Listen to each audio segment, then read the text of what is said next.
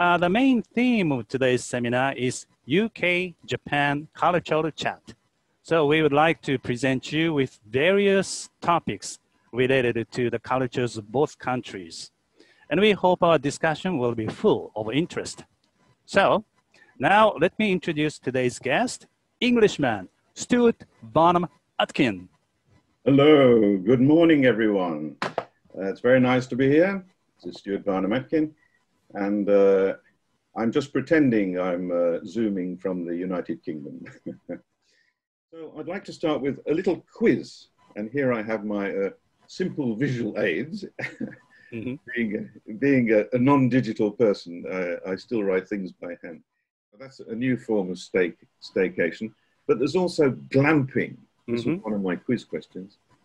Glamping is a nice word. It means glamorous plus camping.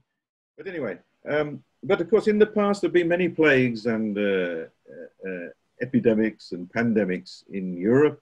Mm-hmm. And uh, for example, there was a terrible one in 1666 in London. I happen to have a cutting here, uh, a recent cutting from the uh, New York Times. And um, I, I, don't know whether you can see that wonderful figure there. He's actually a doctor, ready, ready for later on. I have my uh, bottle of sherry, for example. And sherry shu is not very common in Japan, it seems. Not many people seem to drink it, but uh, mm-hmm. this, of course, is wonderful to have a glass before your before your meal. And uh, we would always uh, have that in the old days before our Sunday dinner, for example. It says, uh, uh, bringing sushi to Japan, the arrival of sushi rolls, Western style rolls, alarms traditionalists.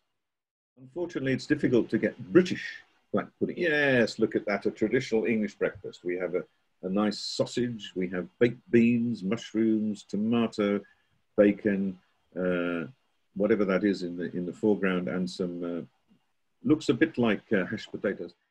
Thank you very much, um, everybody. And thank you very much, Stuart Varnam-Atkin, Mr. Stuart Varnam-Atkin. Great pleasure, and I hope uh, I hope people can join us again for um, our next uh, our next joint effort.